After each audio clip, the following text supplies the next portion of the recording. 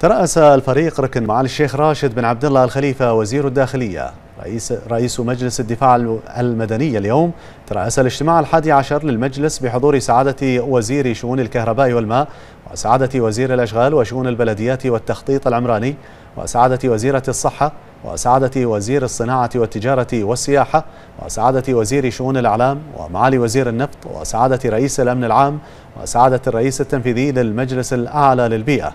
وفي بداية الاجتماع نقل معالي وزير الداخلية رئيس مجلس الدفاع المدني إلى أعضاء المجلس قديرة وإشادة صاحب السمو الملكي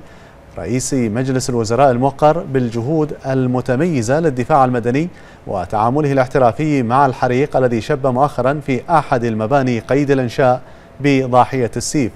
والذي تمكن الدفاع المدني من إخماده بعدما وصل للموقع في وقت قياسي بثلاث دقائق وتعامل مع الحادث بحرفية عالية رغم الظروف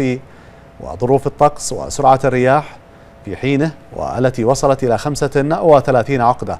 وقد ثمن معالي وزير الداخلية ما يتمتع به الدفاع المدني من جاهزية واستعداد تمكنه من أداء مهامه بأعلى درجات الكفاءة.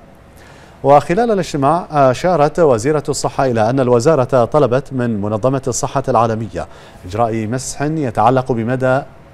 العلاقة بين أبراج الاتصالات والصحة العامة على أن يتم تشكيل فريق عمل بالتعاون مع الجهات المعنية للعمل على إنجاز هذا المشروع.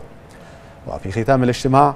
أعرب معالي وزير الداخلية رئيس مجلس الدفاع المدني عن شكره وتقديره لأعضاء المجلس وحرصهم على التواصل والتنسيق حول كل ما من شأنه زيادة معدلات الأمن والسلامة لجميع المواطنين والمقيمين.